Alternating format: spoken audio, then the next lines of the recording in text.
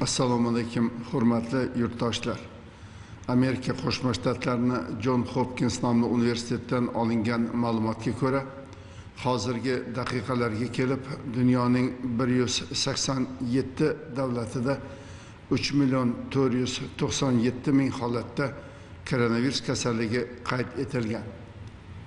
Kasallanganlarni bir million bir yuz yigirma olti mingi sog'aygan.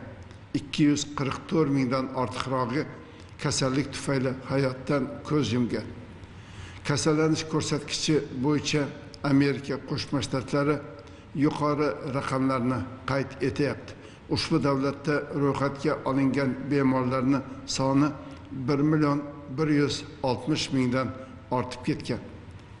Rossiya federatsiyasida ro'yxatga olingan bemorlar bir yuz yigirma to'rt mingdan ortiqroqni tashkil etsa qozog'iston respublikasida uch ming sakkiz yuz ellik yetti holatda qirg'iziston respublikasida yetti yuz oltmish to'qqiz holatda tojikiston respublikasida yetmish olti holatda koronavirus kasalligi ro'yxatga olingan.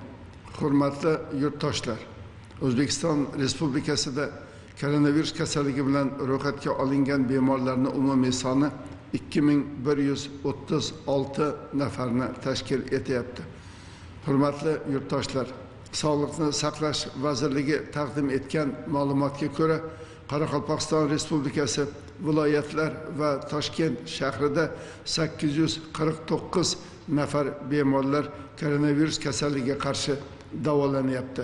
Faqat jizzax va qashqadaryo viloyatlarida ushbu kasallikka chalingan bemorlar yo'q.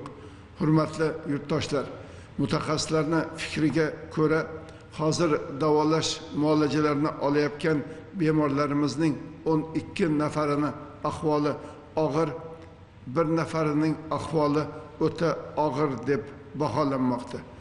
Hurmatli yurtdoshlar respublikada karantin tadbirlari davom etyapti. U to'liq yakunlangunga qadar biz karantin talablarini bajarishimiz kerak bo'ladi. Qachonki biz karantin talablariga to'liq rioya etarkanmiz vaziyatni barqaror ushlab qolishimiz mumkin.